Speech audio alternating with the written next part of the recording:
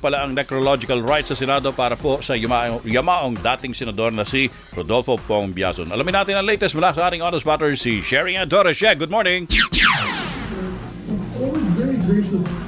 Tony Casey, uh, good morning. Sampung uh, senador at walong dating senador na nakasama ni Yumaong uh, senador at AFP Chief of Staff Rodolfo Biazon ang dadalo, personal na dadalo dito sa necrological rights sa Senado na gaganapin alas 10 ng umaga ngayong araw.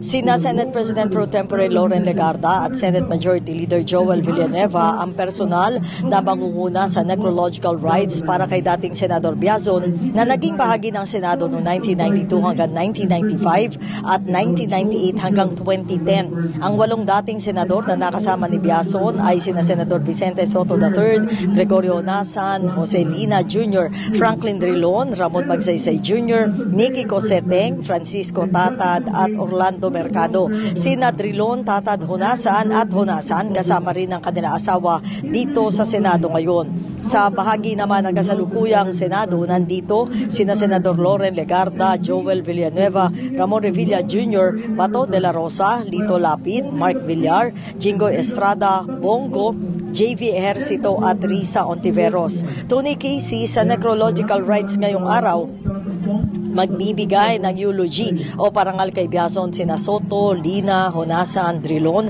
Revilla Jr., Villanueva, Legarda at si Senate President Juan Miguel Zubiri na via online magbabahagi dahil kasalukuyan pang nasa ibang bansa para sa iba't ibang pulong. Si Muntinlupa Mayor Rufy Biazon, ang bunsong anak ng yumaong dating senador naman, ang magbibigay ng response para sa kanilang pamilya. Samantala, kabahagi ng necrological rights para kay Biazon ang paghahandog ng Senado ng resolusyon dito na naghahayag ng pakikiramay at pasasalamat ng kapulungan sa naging serbisyo sa bayan ni Biazon na namuno sa Senate Committees on National Defense at Urban Planning, Housing and Human Settlements. Ilan sa mga nagawang batas ni Biazon ang Anti-Trafficking in Persons Act of 2003, AFP Modernization Act, amyenda sa pag-ibig membership at Philippine Baseline Law o yung pinagbatayang guhit o sakop ng teritoryo ng Pilipinas. Samantala, sa araw na ito, Tony Casey, magkikita-kita si Nadrilon at ang mga kasalukuyang miyembro ng Senado na nito lang biyernes ay pinaalalahanan niyang kumilos at magsalita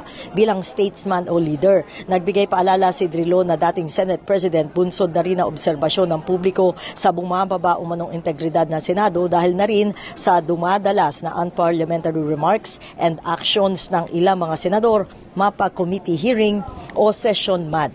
Tony Casey, 9.50 ng umaga ang inaasahang pagdating dito ng Labi ni Biason. Diretso na dito sa session hall kung saan tayo nakatayo ngayon. Tony, Casey? Hmm. Okay, may tanong ka, Casey?